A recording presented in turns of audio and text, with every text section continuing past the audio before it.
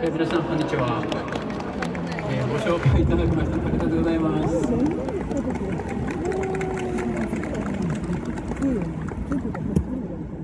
えー、私はここに今日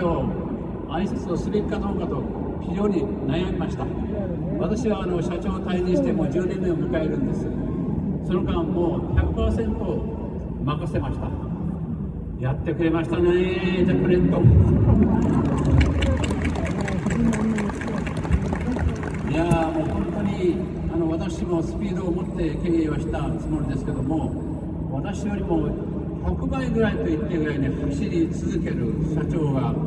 新しく誕生しまして驚いております。でこのスタジアムシティの構想というのはこんなことをやるよという一言だけ聞いてたんですけどもその間は全く任せっきりでその全ての全権を彼が引っ張っていたと。そしてここに全国の皆さんに誇れるスタジアムシティができたということはもう感無料でございます。まあこの10月に入りまして4日5日とコケラ都市バスケットがございました。本当に皆さんの笑顔笑顔笑顔人がたくさん集まって本当に感動の日々それからサッカー。このスタジアムの中ですけども本当にすごいその後押しもあってですね4対1という勝利を収めました、まあ、この後はもちろんビハリン長崎は J1 を目指します。そして昨日日比谷正治さんの苔の私皆さんいかがでしたか？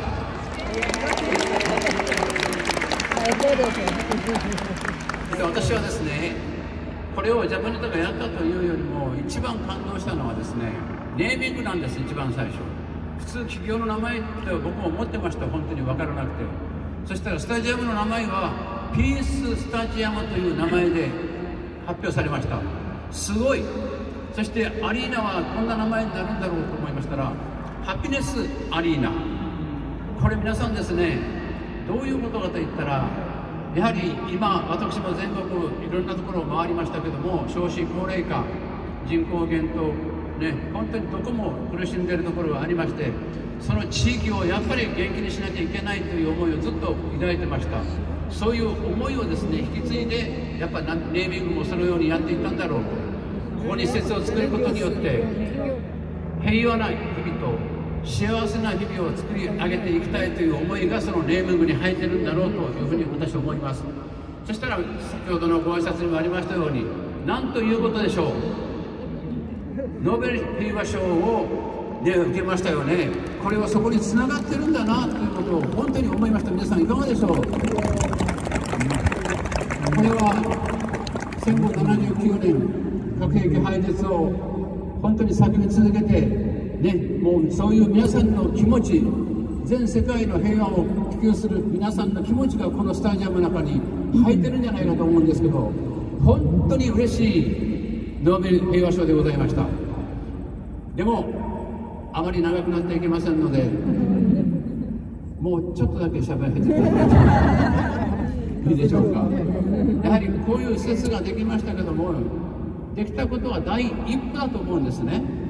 この中に今度は魂を入れていかなきゃいけない。それは本物になって初めて平和とか幸せという言葉を達成できると思っていくんです。じゃあそれは私はもう社員だけじゃないんです。ここに入れていくのはここにお集まりの長崎県民の皆様だけじゃなくて全国の皆さんがこのスタジアムの中にそういう気持ちを魂を入れていただくことによって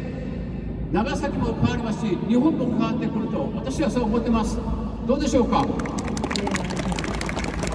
この先陣を切ってこの長崎の力日本を元気にしましょう。最後に私はドラッカーという方が経営の中で一番好きなんです。その方の言葉の中を一つ披露させていただいて終わりにしますけども言うことは一時の変化しか起こせない。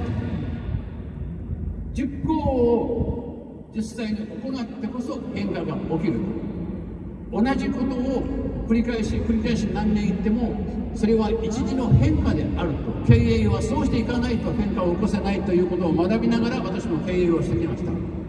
そういう部分ではもう第一歩のこの実践スタジアムシティができたわけですから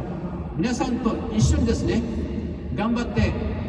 平和な世界を作っていきたいと思います。今後とも皆さん魂を入れるのに力になってください。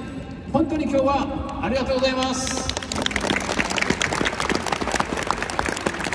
高田様ありがとうございました。